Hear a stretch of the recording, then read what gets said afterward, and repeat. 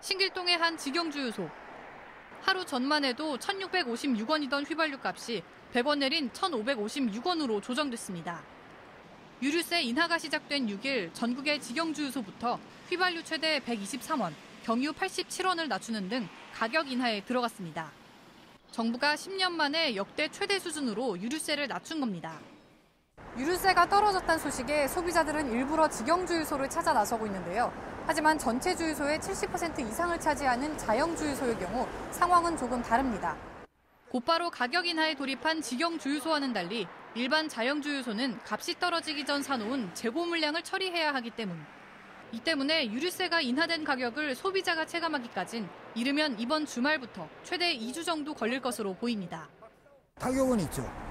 그러니까 이제 자영 제거 주유소들도 가급적 빠른 시간 내에 인하를 하려고 그러는데 문제는 이제 수송해요.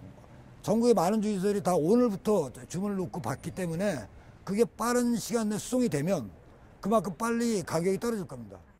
가격이 내렸다는 소식에 자영 주유소를 찾았다 돌아서는 소비자도 보입니다.